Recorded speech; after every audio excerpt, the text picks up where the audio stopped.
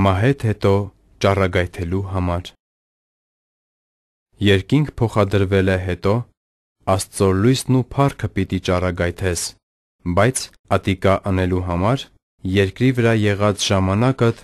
ընդունած պետք է ըլլաս Աստծո լույսն ու փառքը քու անձիդ մեջ։ Ինչ որ մահետ առաջ մեջդ կառնես, մահեն հետո զայն կճառագայթես։